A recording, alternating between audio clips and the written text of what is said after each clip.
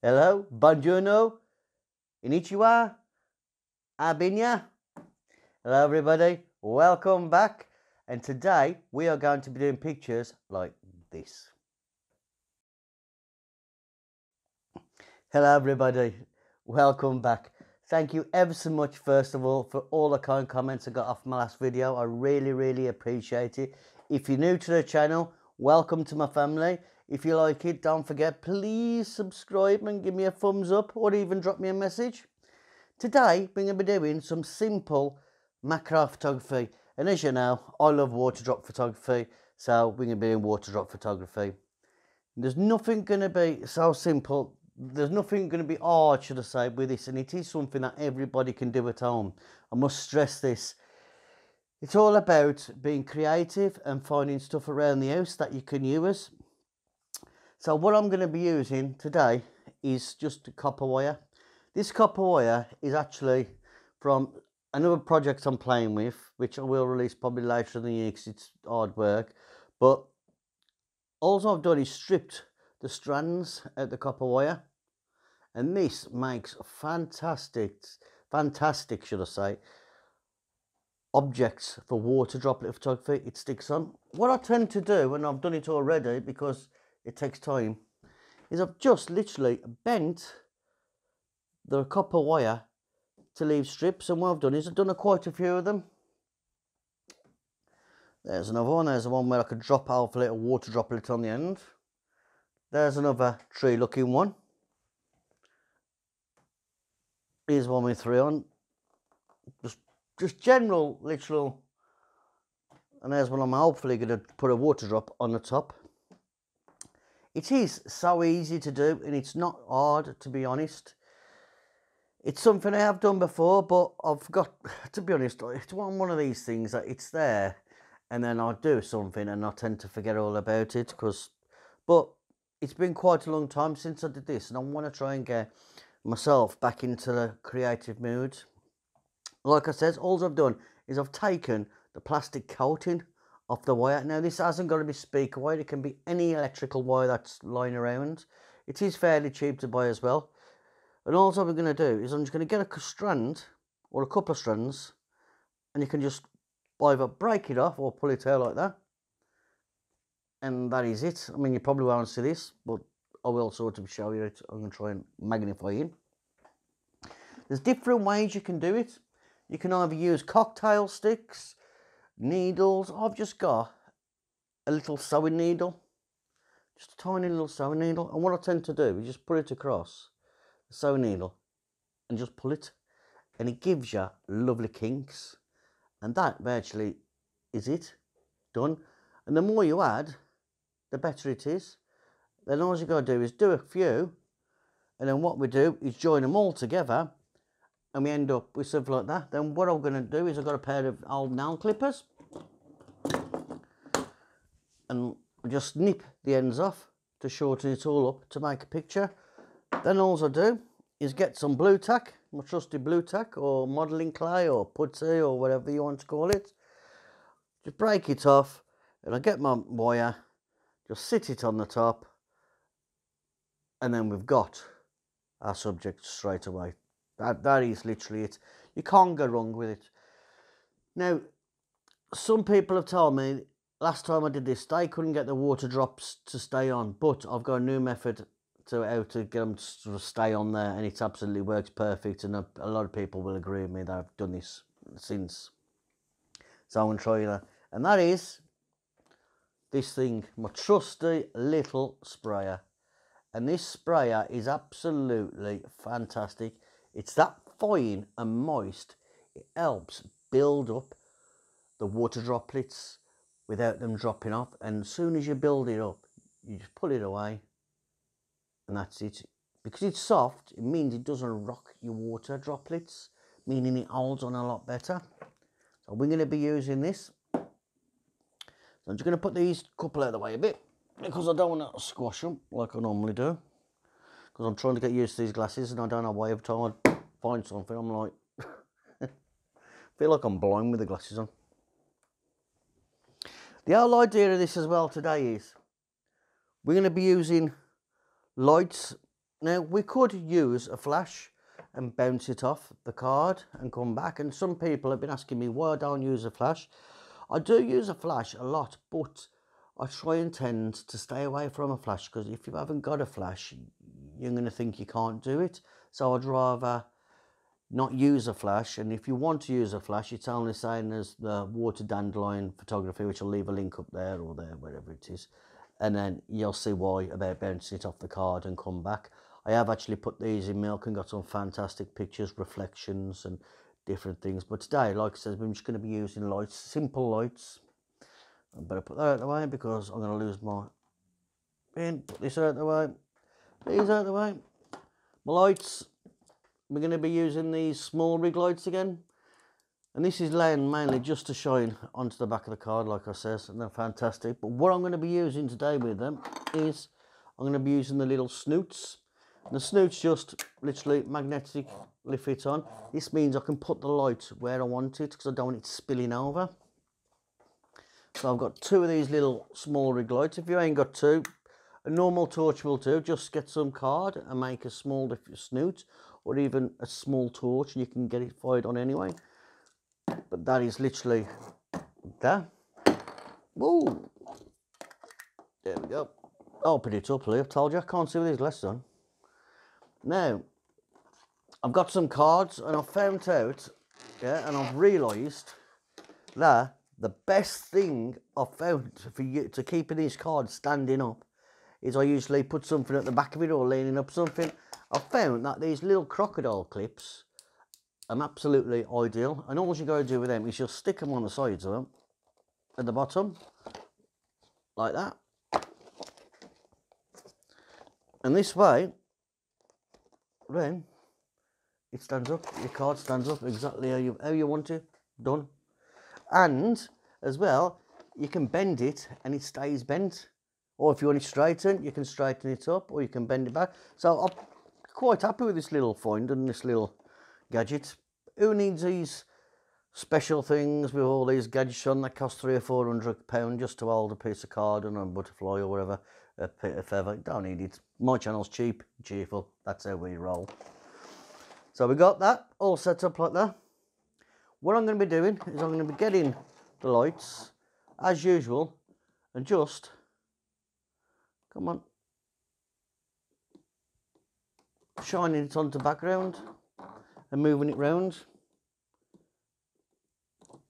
I'm just going to get it on, shine it to where I want it onto the back, but I'm not going to put it onto my subject we're going to use the light that bounces off the card and comes back to light the water droplet up. Now, I've got my camera on a tripod. This little thing, this little camera, this little OM Systems camera. A lot of people have been asking me about settings and ISO, the best way to, to, to get the ISOs, what they want. me personally, if I'm doing still photography, I can slow that shutter down to what I want. Meaning I can get more light into the sensor. Meaning I can keep my ISO low. I think today's society of photographers is becoming a speed sort of photography, eh, sort of fast food, sort of, we've got to get a picture, we've got to get it edited, we've got to get it out, we've got to get it perfect.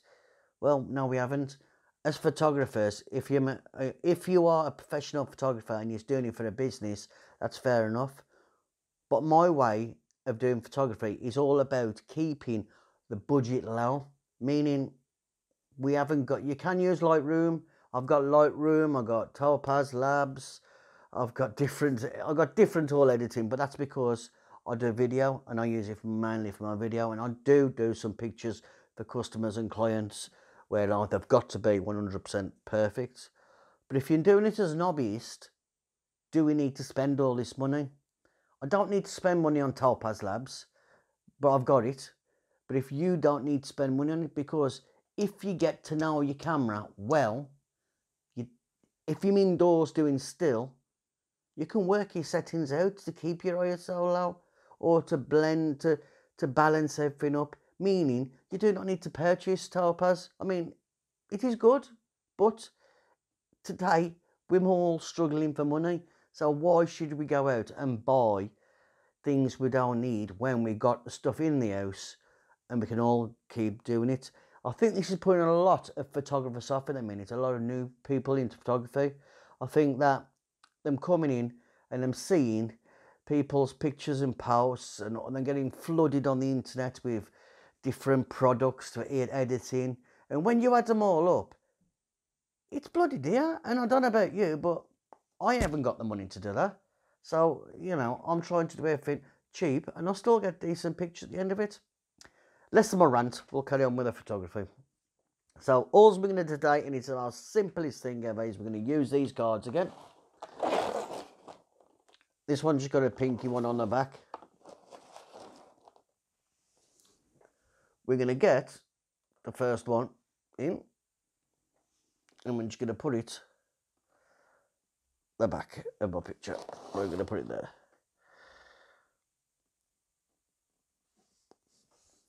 Oh, but before I do that, I better show you the spray anyway. So I know that that's the roughly the right distance because I've got little marks on my table. What I'm going to do first is I'm just going to spray. Just use a spray and build the sprays up, build it up. As you can see, the bubbles are starting to build up. Well, the droplets are starting to build up. This, yes, this takes longer to do, but you get better water droplets. As you can see, they're starting to go nice now. Hang on. If you use normal pump spray, these are drop off. I'm going to leave that there now because I think I got a nice picture. And that, to me, looks like a little apple tree. So I'm going to leave that like that. What I'm going to do now is I'm just going to swing the card right round.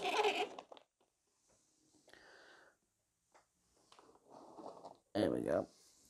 Then I'm going to put my camera on and get focused in. Better put some light on it, mate. I'm just going to shine the lights on the back, as we do. Just bend the tripod down. Put that one on. Bend the tripod down. Move it around. This is going to give us some fantastic pictures. Right, let me have a look at my settings. right, I'm starting on off at f5.6.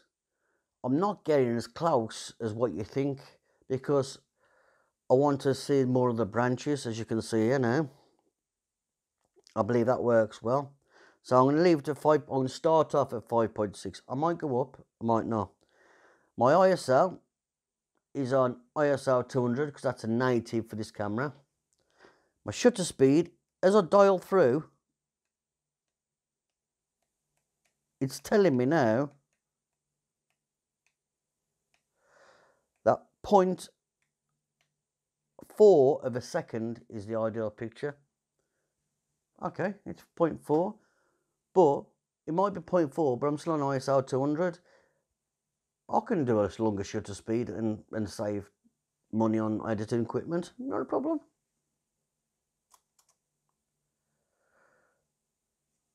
No, I don't quite like that one. I'm just just gonna just focus in a little bit better. Push a light more forward. And there we go. that one is simply with the blue light and that's it. it. it's, it's just light shining on it. I want to try some more colours though because I think this picture will make for a nice apple tree effect. Right, where do I put my card? So I got my glasses on. I can't find them.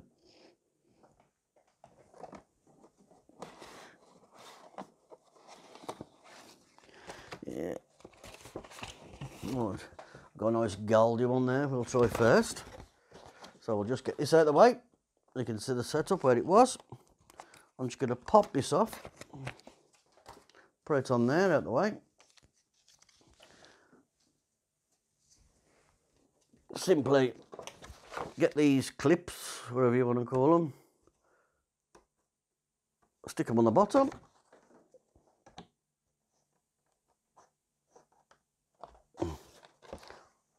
Roll my card round.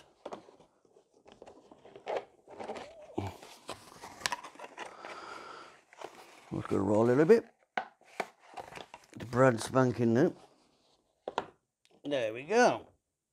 Whoa. That's a main colour. I'm going to take a couple more pictures of this.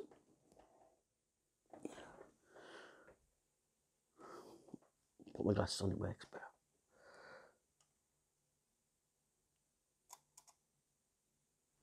Not too bad, not too bad. Right, I like that, but I'm going to try another one. I'll put that one out the way. I want to try this one. This one's the one that I want to going to put just a ball, a drop on the end.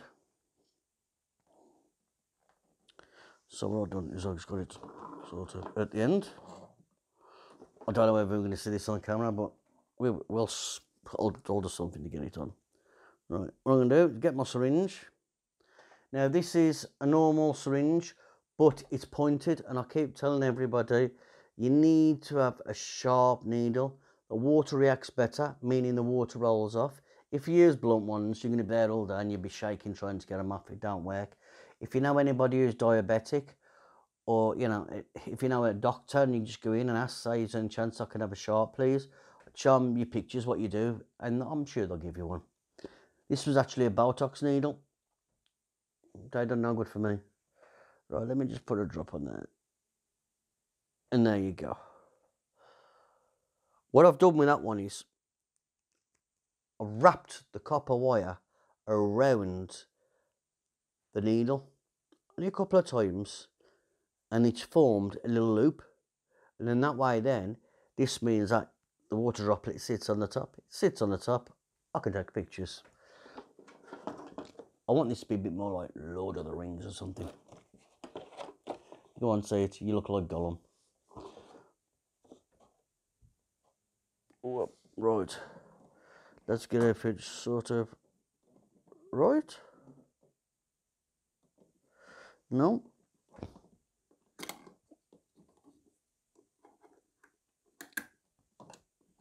Turn the tripod round. Mm. Lighten it back up. That's better. That's got the light where I wanted. Just move that one. It sort of comes up, really. Nice. Now it's time to focus in again. We got it, we got it, we got it, we got it. We got him. I like that, but it's very, very bright. For some reason, it's shining. I ain't even move the camera. And it's just so bright. So what I'm going to do now is the shutter speed. I'm on a fourth of a second, 0.4. So I'm going to bring that up now until I get something on like. And now that's allowing me to do it at a 40th of a second, which is ideal. Take a look. That's pretty jazzy, I should say. Them lines that come across the, the uh, across off the paper really work well.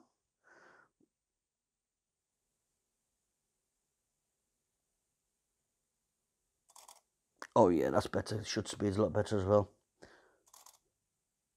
But I'm still on ISO 200, just working the shutter speed and the aperture to balance it out to keep it where I want. So that means that when I put it on the computer, I haven't got to really do any sharpening or use topaz or whatever to get the noise down. If I wanted to mm, just polish it up, I could, I suppose. Right, uh, have I got any more cards? Oh, Mel Goldie. Mel Goldie. I love my Goldie one.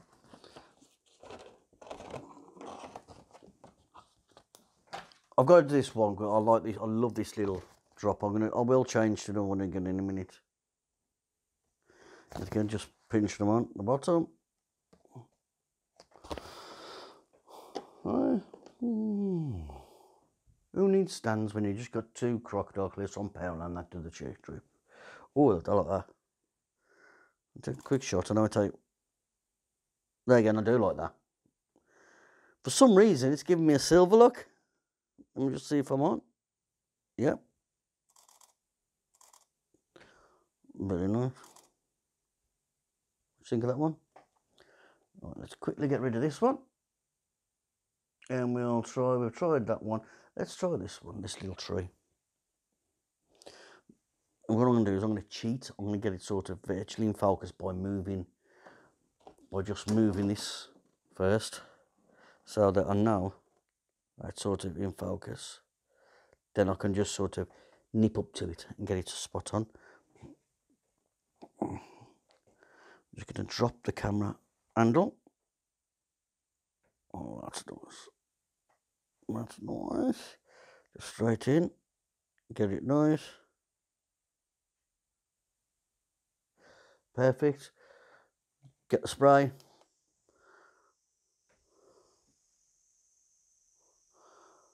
Give it a spray. Let's get the build up. As you can see, just building up nicely. If I was to get close, I can get them on a bit quicker. But it doesn't seem to work. I'd rather let it time. We haven't got a rush. We're photographers. And there's not a lot of mess for me to clean up. Meaning Mrs. H don't have a go at me. All like that. I've got one right on the end of that one. Oh. See that? Okay. Let's put the silver card back over the top of it.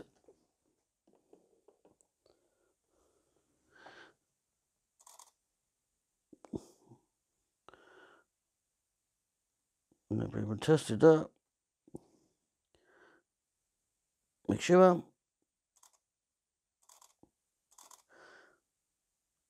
I think I'll call that one the tree of life. That is so simple, just copper wire. That's all we need. Like I said, I'm going to put them up on the computer. We'll see what we think of them. Like I said, if you think you can add to it or whatever, let me know. But we'll put a few pictures of plug says and we'll have another quick chat.